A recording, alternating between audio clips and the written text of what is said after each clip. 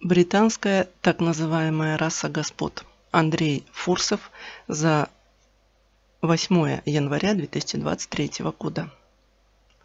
В феврале 1891 года в Лондоне было создано общество, существование которого один из крупнейших американских историков Куигли считает одним из важнейших исторических фактов XX века.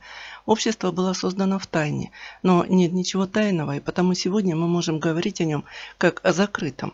Отцами-основателями этой структуры стали три влиятельнейшие фигуры британской общественно-политической жизни. Сесил Ротс, тесно связанный с Ротшильдами основатель и совладелец алмаздобывающей корпорации De Beers и других горно-промышленных монополий в Южной Африке, Уильям С. Стед, разведчик и в то же время самый известный и сенсационный журналист того времени. В 1912 году погиб во время крушения «Титаника» и Реджинальд Беллиол Бретт, впоследствии лорд Эшер, друг и доверенное лицо королевы Виктории, а позднее ближайший советник Эдуарда VII и Георга V. В разное время группа называлась по-разному. Тайное общество Сесила Ротса, детский сад Милнера, группа Круглого стола, группа The Times, группа Четема Хауса, группа All Souls. Главная цель, однако, оставалась неизменной – укрепление Британской империи в условиях надвигающейся угрозы утраты Великобритании мировой гегемонии. Необходимо подчеркнуть еще одно – для Ротса стимулом строительства мировой империи британцев был не политическо-имперский, а классовый и расовый. Такая империя должна была позволить избежать классовой гражданской войны в ядре, в Британии. Тот, кто не хочет гражданской войны, неоднократно подчеркивал Ротс, должен стать империалистом. В результате в мировой империи простые англичане из низов могли чувствовать себя аристократами по отношению к низшему отродью в расовом плане. Обращение англичан с китайцами, да и с другими, особенно подвластными им народами, не то чтобы было жестоко, а повелительно, грубо или холодно-презрительно, так что смотреть больно. Они не признают эти народы за людей, а за какой-то рабочий скот, который они, пожалуй, не бьют, даже холят, то есть хорошо кормят, исправно и щедро платят им, но не скрывают презрения к ним. К нам повадился ходить в отель офицер не флотский, а морских войск э, с, с Спартана, молодой человек лет 20. Его звали Стокс.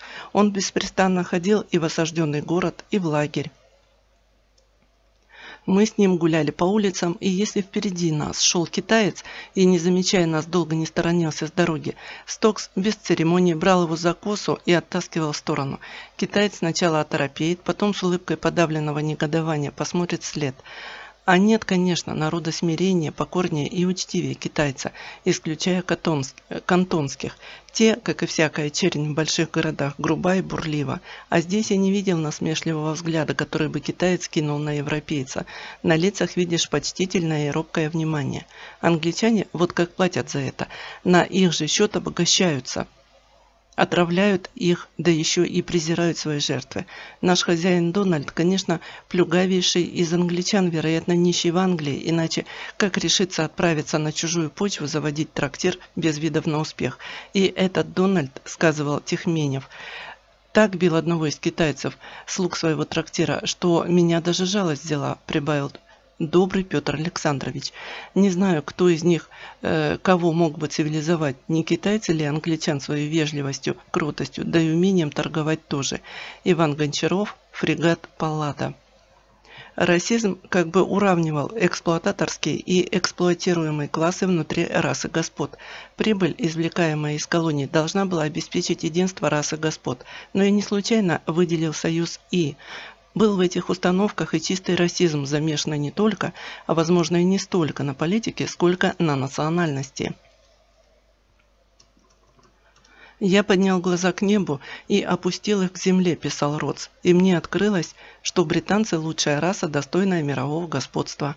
Аренд специально подчеркивала, что только в Англии идеология расизма прямо вытекала из национальной традиции, ветхозаветно-пуританской, все та же избранность, идущая от иудаизма. При этом социальное неравенство – важнейший элемент британского культурного кода, насаждавшегося верхами и принятого как должное низами. Общественное неравенство было основой и характерным признаком специфически английского общества, так что представление о правах человека, пожалуй, нигде не вызывало большего раздражения.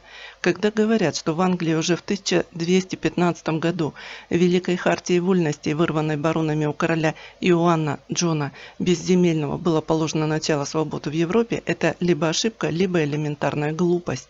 Хартия означала одно – право баронов бесконтрольно грабить население и устраняла те ограничения, которые ранее накладывала на это королевская власть. В блистательные для Англии времена, например, 1873 год, многие в стране считали, что несмотря на некоторую брутальность, грубое невежество и определенный снобизм, типичный мальчик из паблик скул является благородным животным, лучше которого и быть не может.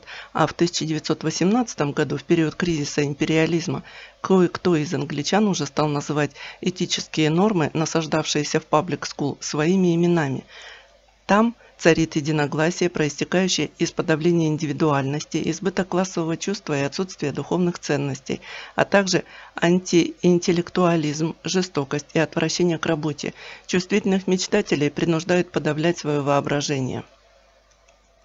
Public School единодушно обвиняли в том, что они вытравляют рыцарский дух, заменяя его жесткостью, учат ненавидеть мечтателей, которые в этом мире ни на что не годятся и вообще представляют собой источник филистерского практицизма – М. Саркисянс.